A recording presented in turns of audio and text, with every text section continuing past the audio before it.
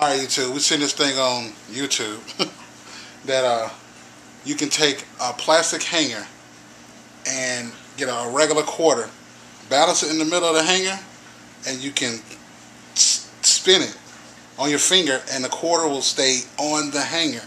And then they say you can also stop it, and the quarter will stay balancing on the hanger. Now, I'm finna focus in on my wife because I'm busy doing my junk and she's gonna do the trick. So what she's doing here, let me zoom in a little bit. She's balancing the hang, the quarter. Come in a little closer. Can only zoom so far. Okay. There y'all go. Oh, don't back up just yet. Let me stay still. still. Come closer. I want to show them this a real fucking quarter. All right. There you see, real quarter. Right. Yeah. I just want to show them that it's a real quarter. It can fall off. Now you see, real quarter.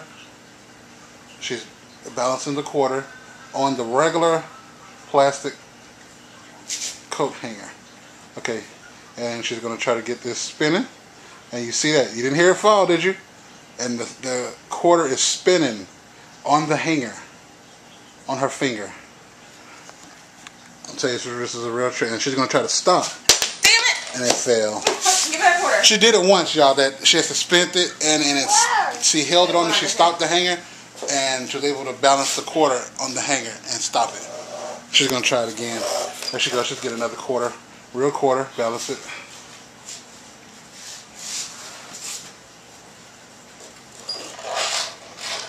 Okay, get it spinning. Rock. Okay. She got the quarter spinning on the hanger. Balance. She's gonna try to stop it. And she stopped it on the hanger. Take. Yeah, that's some shit right there. That you too. Oh, bad nickel. But um, learn that trick. Did y'all do it yet? Do it my time. I'm kind of busy calibrating my dosing unit. Um, Where's the try? I'll try. Yeah, she's gonna try.